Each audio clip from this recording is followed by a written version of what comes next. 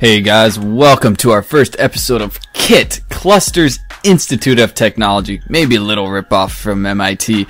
But in today's episode, we are going to be making an automated furnace refueling system that only refuels the fuel that goes into your furnace so that you guys can cook up all your nice items. So let's build it and enjoy.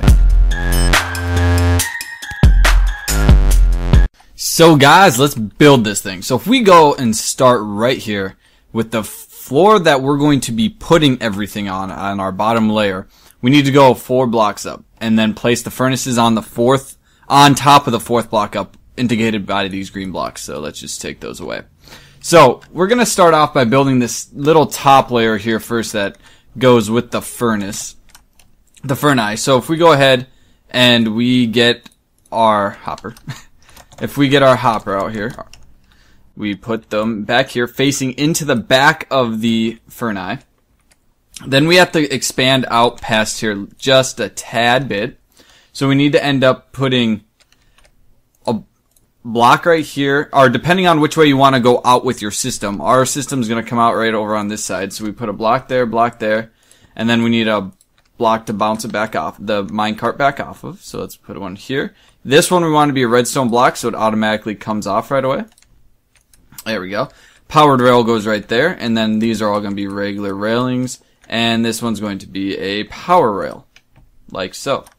So now, if we start with this bottom layer, we need to put a block right here, right here, there, and there. That might look a little weird, but you'll see what it ends up doing here. We have to put all redstone on, on all these and connect them. We take it, this block out, put a sticky piston there, put a block there to be able to transfer the redstone signal through, and then a repeater pulling the signal out. So one, two, three, four. Uh, three or four will work. One and two will not because of the amount of ticks that this thing goes through.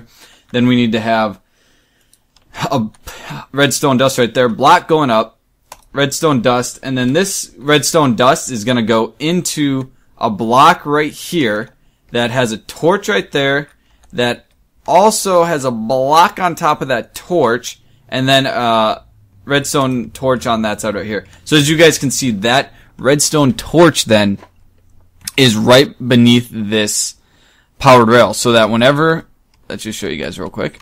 Whenever uh, this gets activated, we should be able. To, nope, we're not gonna be able to do that. I was gonna say once this gets activated, right? It powers that on. So that's what we want. So again, four ticks. So let's go ahead and start the next layer. So we're going to need to put a row of blocks above here. Put some repeat or some comparators down so that we can pull the signals, the amount of items out of here. See, check to see if there's any items. If there's an item, a signal is going to come out. If there's not an item, there's going to be no signal. Then we need, nope, not subtraction mode. Then we need block, block, block, and block. Now, every other one, we want to have a repeater going out of because we don't want our redstone signals getting mixed up. So we want redstone there and there. Now this is going to depend on how you oriented these down here. If you oriented these close blocks right there, that's where you want these ones to go. So as you guys can see, there's the redstone. And then if, if it's these farther ones back, you just put the another block out, another block out, repeater, or redstone dust, and there we have it.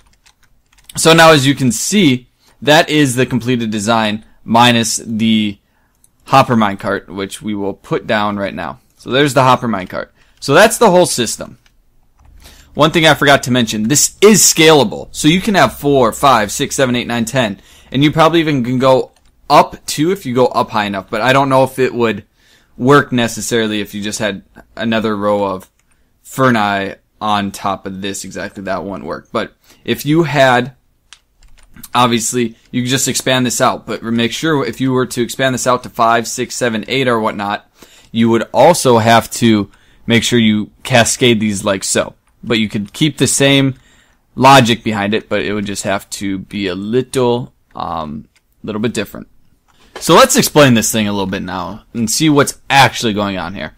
So if we can see, I put items in each of these hoppers. One, two, three, four, all four of them have a little bit of coal in them. So right now, all of these are sending out redstone signals, which these are um, taking off the effect of the redstone torch. They're unpowering the redstone torch. So that's known as a NOT gate, right? It's negating the redstone torch because of this redstone signal on top of it. So once this is, once those are all deactivated, this line down here is all unactive too.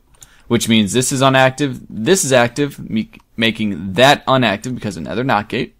And then this powered rail being unpowered.